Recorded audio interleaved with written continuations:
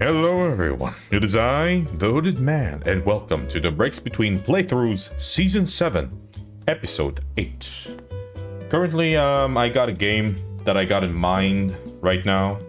No, it's not the pre-ordered game that I got. It's more like a, uh, you know, I currently have one game in mind.